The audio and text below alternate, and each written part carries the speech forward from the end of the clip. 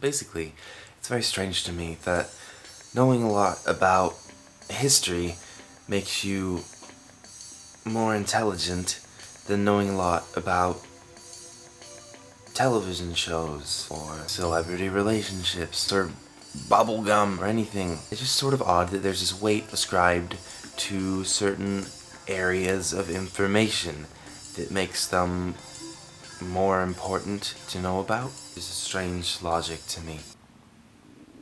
Oh, that was an unpleasant noise that my stomach just made. I think it's very important to remember that people have different intelligences. For example, I'm not all that outstanding at calculus. Frankly, not really sure what calculus is. I mean, I know it's like an area of math, but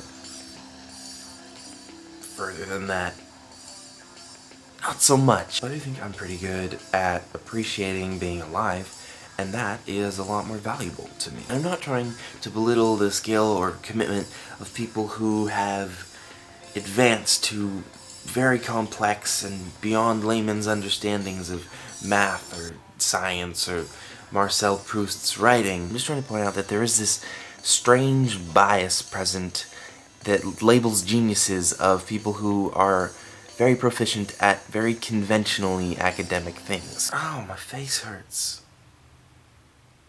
Ugh. And people who have mastered conventionally academic things are certainly very intelligent. That's not what I'm trying to say at all. I'm saying that there are people in other areas, people who are very proficient and innovative at, I don't know, dog grooming or ice cream creation or gardening, or anything at all. And I think we should call them geniuses too. It seems to me that we shouldn't determine what's important and then decide to pay attention to that.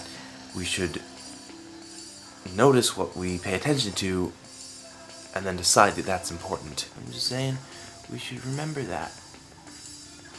That's all.